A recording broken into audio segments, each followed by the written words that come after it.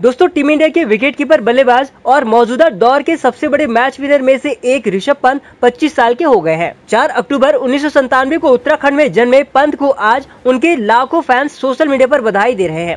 पंत ने बहुत ही कम वक्त में बड़ा नाम कमाया है।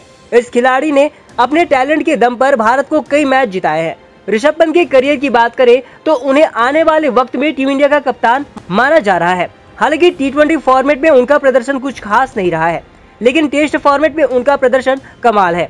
इसमें कोई दो राय नहीं है कि आज पंत दुनिया के सबसे सफल क्रिकेटरों में से एक है, जिसकी वजह उनकी मेहनत है। लेकिन पंत की सफलता में तीन महिलाओं का भी हाथ है।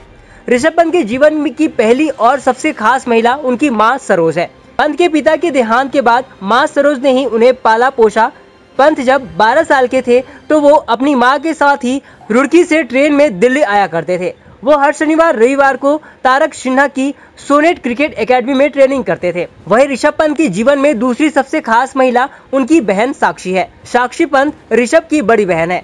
वो दून कॉलेज में पढ़ी है और फ़िलहाल वो ब्रिटेन में पढ़ाई कर रही है।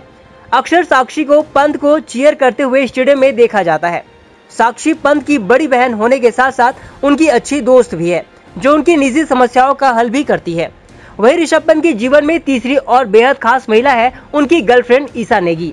ईशा नेगी से अपने रिलेशनशिप का खुलासा ऋषभ पंत ने साल 2019 में किया था। ईशा नेगी इंटीरियर डिज़ाइनर है। वो अक्सर पंत को सपोर्ट करने स्टेडियम में पहुँचती है। पंत के बर्थडे पर ईशा नेगी ने उन्हें बर्थडे विश करते हुए खास वीडियो भी शेयर किया।